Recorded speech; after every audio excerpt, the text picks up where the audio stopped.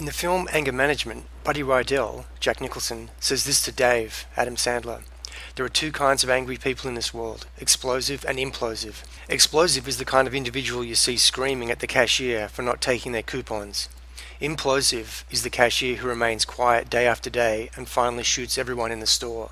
You're the cashier. Welcome to the Social Intelligence Report. In this episode, we'll break down the bagel man's behavior and look at how to deal with a perceived flaw positively.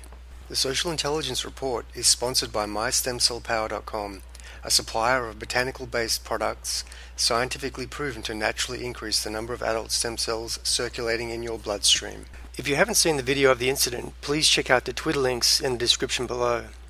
Basically, a man in a bagel boss store in Long Island lost it because the woman at the counter smiled at him in a certain way. He perceived this to be a slight against his height, and an episode of explosive anger against women ensued. After ranting for a few minutes, he was eventually tackled to the ground by another customer. Commenters on Twitter were quick to condemn his misogynistic behavior and poke fun at his height with elf memes. Many also suggested he was a manifest writing incel, involuntarily celibate, and a good candidate for violence against women. Whilst it was the opposite of being socially intelligent, his explosive outburst was just that. So, what should he do? How can someone deal with a perceived flaw positively? It's quite simple you have to own it. There are several stand up comedians with cerebral palsy. Steady Eddie and Josh Blue are among the most notable.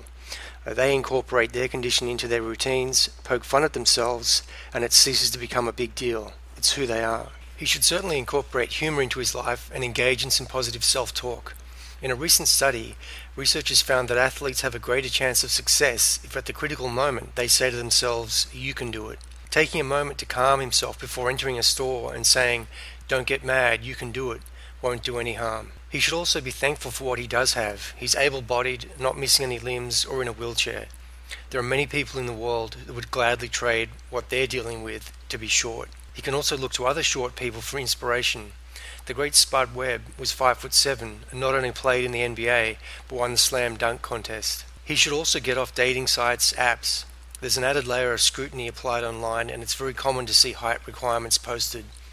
It seems like he has a history of being spurned and ignored by women, and he now has a hair trigger to set it off. He certainly has a Napoleon complex due to his short stature, but it doesn't need to have such a negative impact on his life.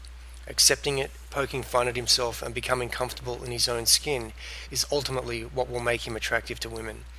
His height will be less of an issue to others when it's less of an issue for himself. Thanks for listening. Please subscribe to learn more from the Social Intelligence Report.